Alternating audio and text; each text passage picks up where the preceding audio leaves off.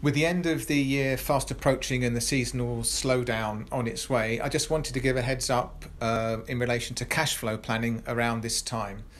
Um, turnover sales tends to be in a different rhythm this time of year, uh, and it can have an impact on your cash flow.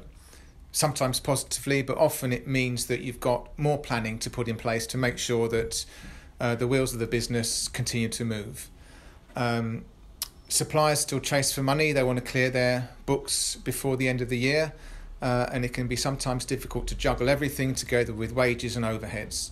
So, what I suggest you do is actually take some time to have a look at your cash flow over the next few weeks and into January. Um, look at your aged debtors or receivables and your aged creditors and payables. Make sure they're up to date. If they're not up to date, then that's a different issue about the uh, the accuracy and timeliness of your accounts and key information. Um, but that's for another time.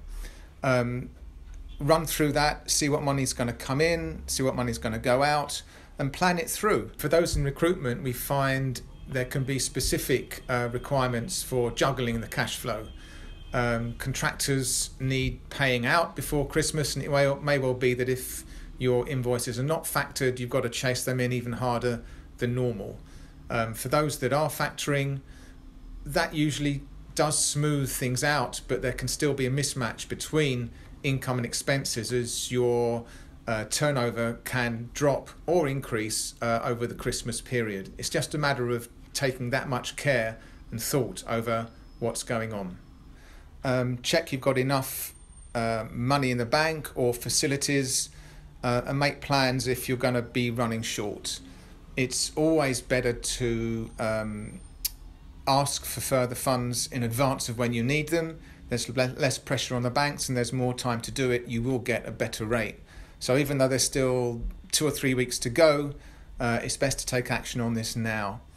When you look at the figures, if it turns out you do need more finance, um, often the first place is the bank, but it's difficult to get um, comparative figures. Uh, here at Davis Grant, we've got access to a, a, funding platform that cuts across 100, 120 different lenders, and we'd be more than happy to see what we can do from you, for you.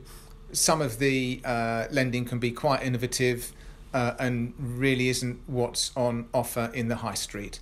So that's my advice. Take action now.